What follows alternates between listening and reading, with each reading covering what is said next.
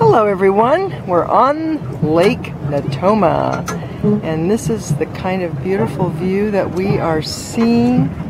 Oh my gosh, we've made pretty good track so far. Here's, I'm going to go quickly because there's a, a rowing team over there, right there. There's the back of the dock. I'm going to come back around and I'm going to land on my rowing or pedal boating partner. Hello, Joe. Hello, my beautiful one woman and wife, darling.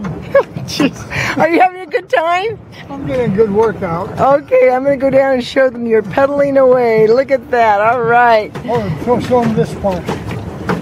Oh, okay, fast. all right, that's all for now. Bye, gang.